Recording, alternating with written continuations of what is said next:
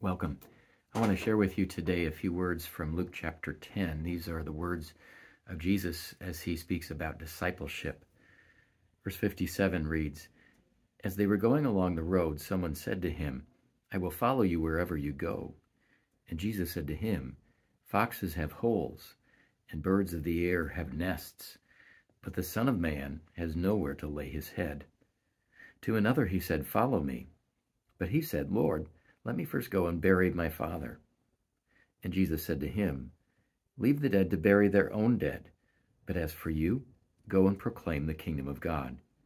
Yet another said, I will follow you, Lord, but first let me say farewell to those at my home.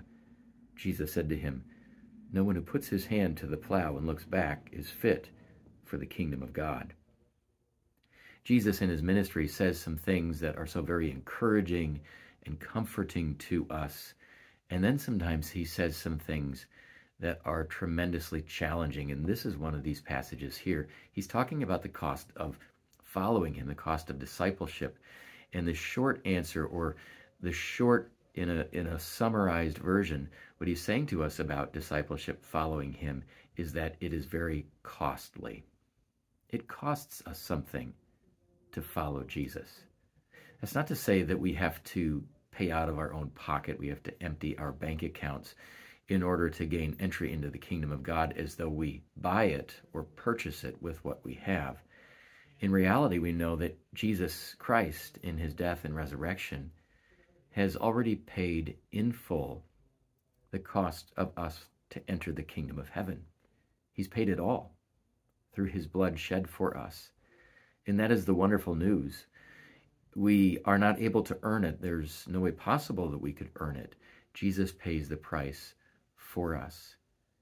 But having received this in full blessing, this gift from God that we could never repay him for, Jesus does point out to us that it is going to cost us something, that it will cost us our time and our talents and our treasures.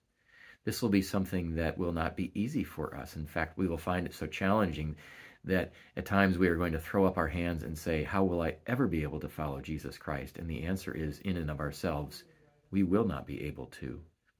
Only by God's grace are we saved. Only by God's grace are we able to live the Christian life. And that's where God's Holy Spirit comes in. He is the one who walks alongside of us. That's what the word that Jesus uses in the Gospels for the Holy Spirit, paraclete, that's what it means. Talks about someone or something coming alongside of another for the purpose of assisting. And that's what the Holy Spirit does. He brings us to faith in Christ. He assists us in, in living our life with Christ so that with his help, we are able to follow after him.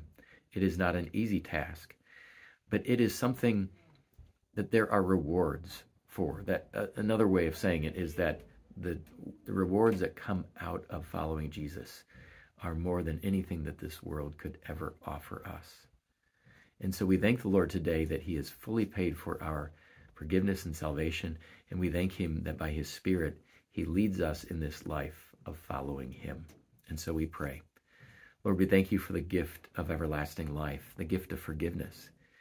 We pray, Lord, that you by your Spirit would lead us each day to follow in the ways that Jesus leads. We pray it in his name. Amen. Peace and God's blessings to you.